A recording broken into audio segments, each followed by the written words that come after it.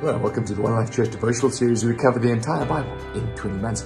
Well, today's chapters are Psalm 140 and 141.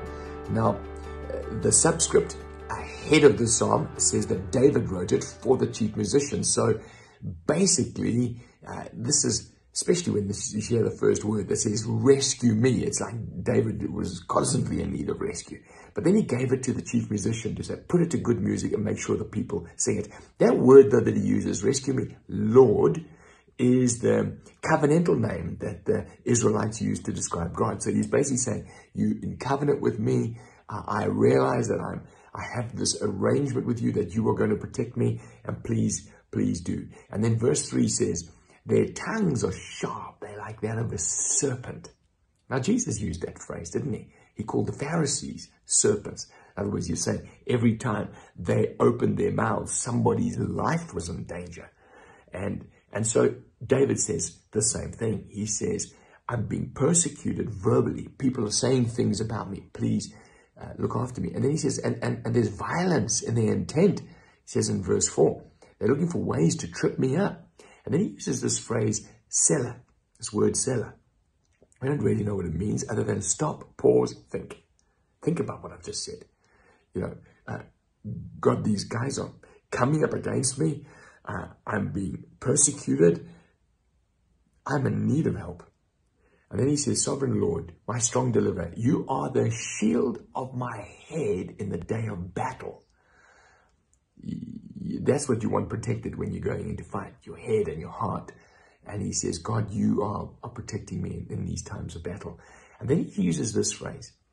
He says, Selah again. And then he starts to ask God to deal with his enemies. And he says, may burning coals fall on them. I'm sure he was thinking of Sodom and Gomorrah and the fire that had fallen out of heaven on those places. But, you know, Paul used that phrase burning coals on their heads to show that we have a totally different way of dealing with this these days. Romans 12:20 says, "On the contrary, if your enemy is hungry, feed him. If he is thirsty, give him something to drink. In doing this, you heap burning coals upon their heads." So I think he may have even had reference to this particular psalm. You know, in David's day, he didn't know any better, and he said, God, deal with them like you dealt with Sodom and Gomorrah. But Paul's saying, you know the greatest way to deal with your enemy? Let God's kindness come through you, and it's going to drill into them the glory of God like they've never seen before. Now, Psalm 141, the psalmist says, Come quickly to me and hear me when I call you.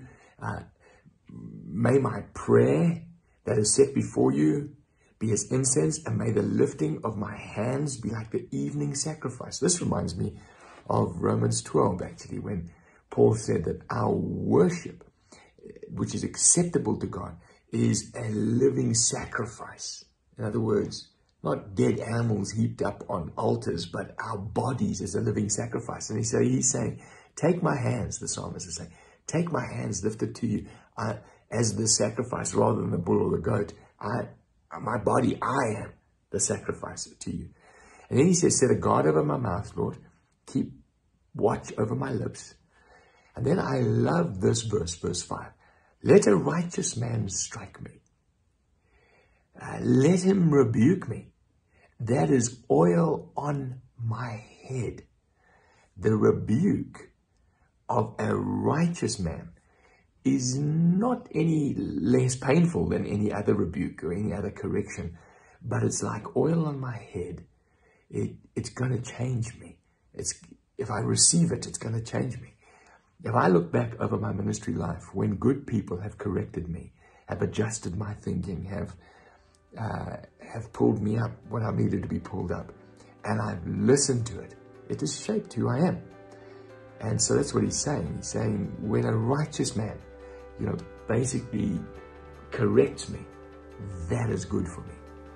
And then verse 10 says, Let the wicked fall into their own nets while they pass, while I pass by in safety. Uh, again, the psalmist is saying, My safety in your hands.